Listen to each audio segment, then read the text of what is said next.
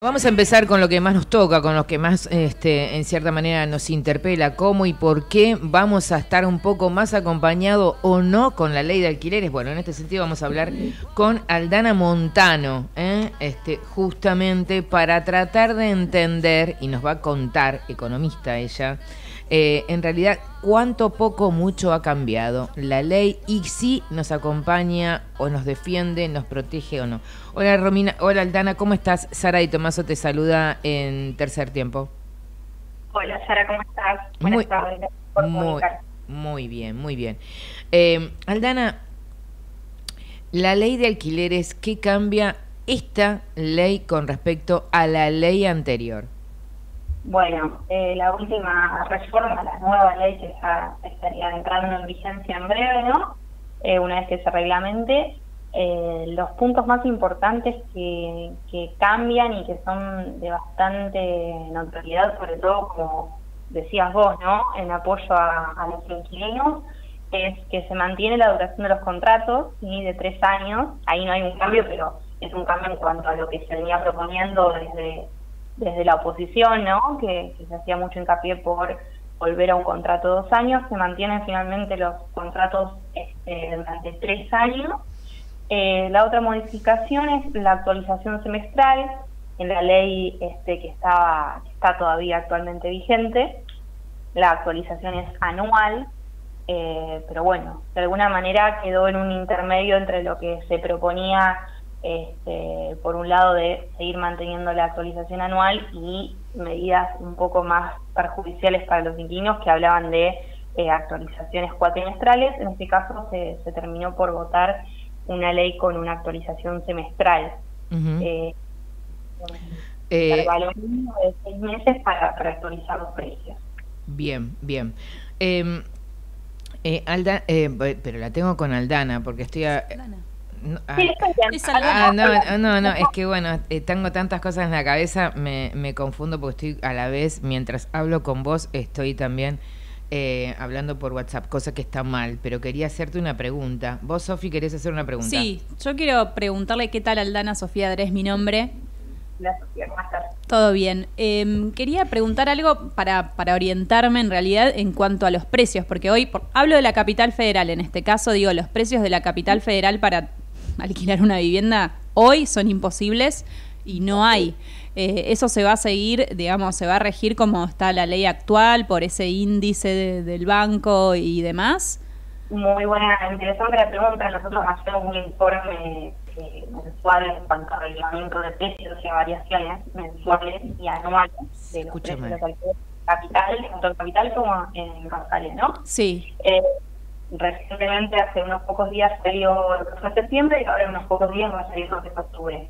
Nosotros lo que veníamos viendo en relación a tu pregunta es variaciones interanuales muy por encima de lo que es el coeficiente de inflación y variaciones mensuales también muy por encima de la inflación mensual de ingresos. Nosotros para septiembre encontramos un departamento en capital, en promedio, ¿no? Sí. Un 21,4% y eh, de manera mensual, ¿no? Y un 209,1% de manera interanual. ¿sí? Entonces, que los comportamientos están variando mucho más por encima de lo que varía la inflación, que es algo que venimos viendo. Claro. Eso por, porque no hay. Porque no es departamento.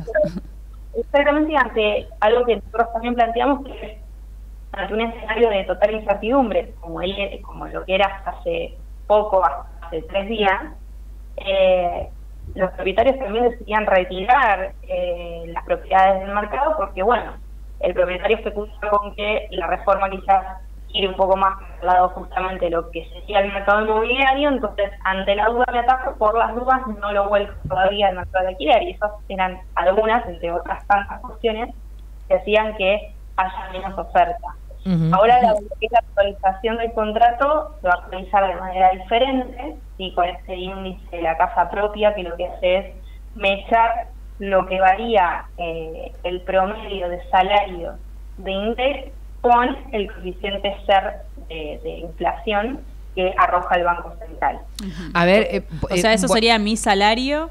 Volví a explicarlo. Pero porque, los salarios están muy por debajo de, la inflación, si nos ponemos a pensar. Como que por eso Eh, a ver, porque se te escucha, además se te escucha un poco mal, Aldana. ¿Podés este, eh, volver a decir cuál sería la fórmula? ¿Cuál sería la fórmula de actualización? y volvemos a poner los puntos. Sería, la actualización sería una vez anual, una vez anual. Semestral. Semestral, semestral. Semestral, semestral. ¿Qué es lo que dijiste recién anual? Pues yo te escucho muy mal. Ahí capaz es mi zona. Ahí, está mejor. Ahí está mejor. ¿Cuál es el índice que se va a aplicar? El índice se llama eh, actualización por el índice de la casa propia. Sí. Que lo que hace es, se conforma de dos partes, ¿no?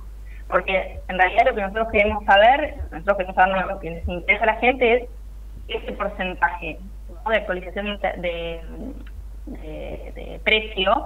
El inquilino lo que más quiere es que sea acorde a lo que fue variando su salario y eh, el propietario quiere que sea generalmente lo más posible, pero vinculado a lo que varía la inflación, ¿no? Sí. Eh, en este caso lo que se hace, hace también se me echaban dos coeficientes, pero ahora se echan otros dos coeficientes diferentes.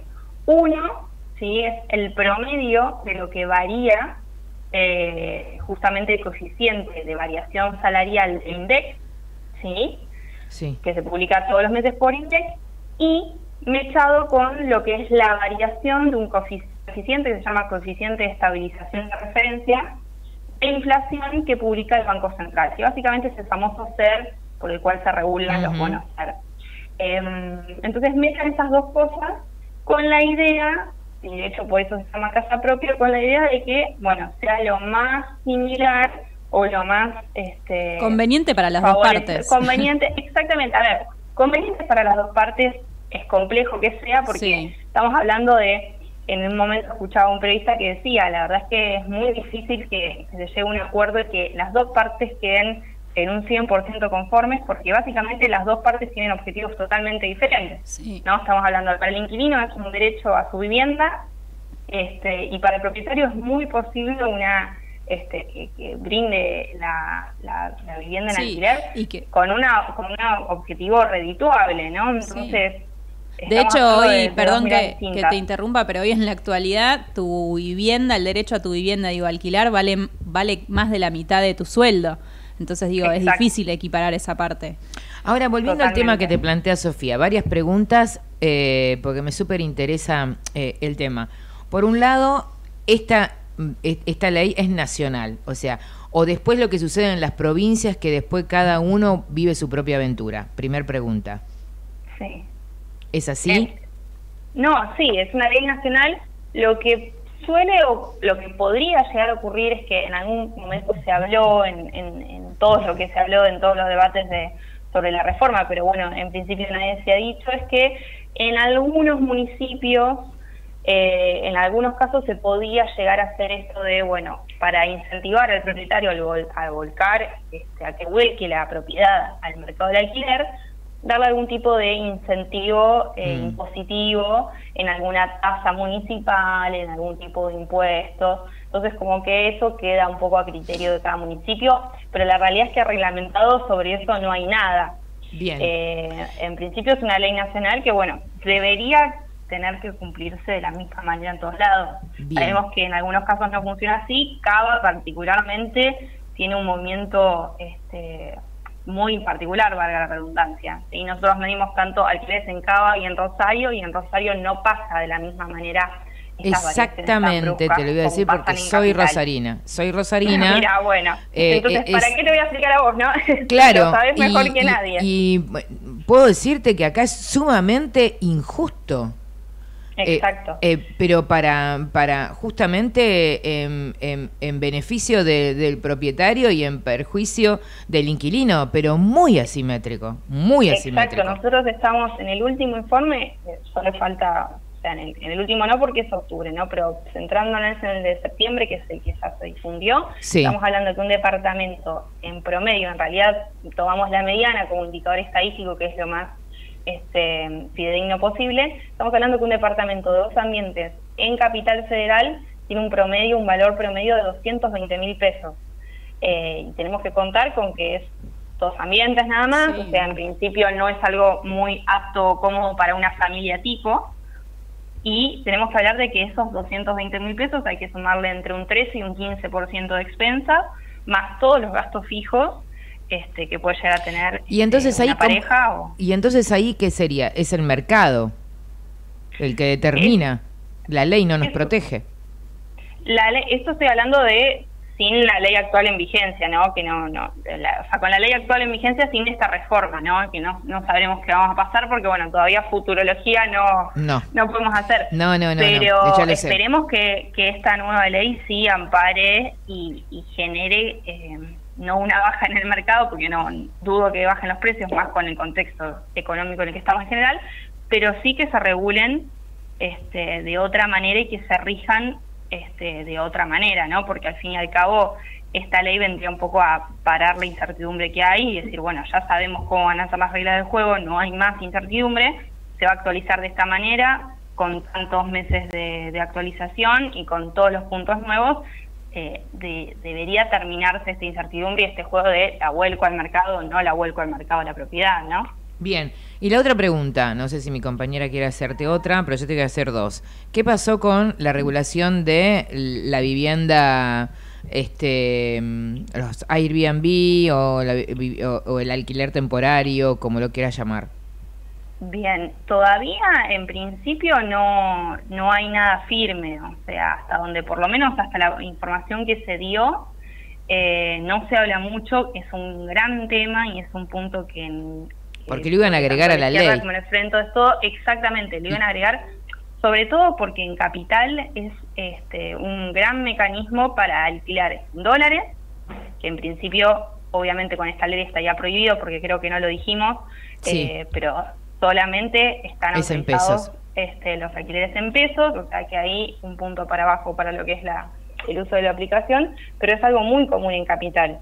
Alquilar de manera temporaria este, y en dólares. Mm, eh, y, en cuanto todavía no hay nada firme. Y en el que tampoco se puede, eh, tampoco se puede expresar ni tampoco se puede, pero los contratos son privados. De pronto, eh, ¿cómo se va a ir este y se va a, no digo fiscalizar, pero de alguna manera poner la lupa en las inmobiliarias? es una gran pregunta que quizás va más por el lado del derecho y estaría bueno consultar un abogado, pero en principio si entiendo yo, ¿no? Si hay alguna manifestación de eh, una actualización este, adelantada, ¿no? Antes que los seis meses o alguna publicación en dólares, yo creo que debe haber algún mecanismo de denuncia, ya sea vía web o, me imagino que hacia la inmobiliaria decir, bueno, no, este este, esta persona, esta inmobiliaria está publicando este departamento en dólares. Me imagino que debe haber algún tipo de mecanismo así, sin, sin saberlo de antemano, ¿no? Este, no, no he escuchado nada al respecto.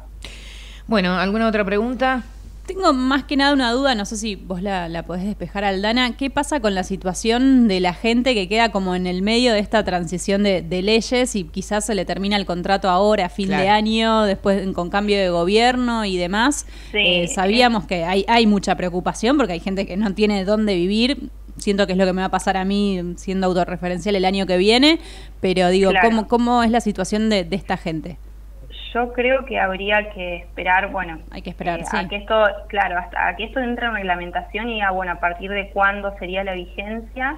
Eh, y yo creo que en ese mismo acto se dice, bueno, hasta qué momento del año eh, se, da por acabada, digamos, la ley en desuso la ley anterior. Yo creo que tiene que ver con, bueno, en qué estado el contrato está, ¿no? Pero bueno, yo ahí creo que, consultaría más a, alguien de jurídica que Claro, porque están pidiendo medio millón de pesos por renovaciones.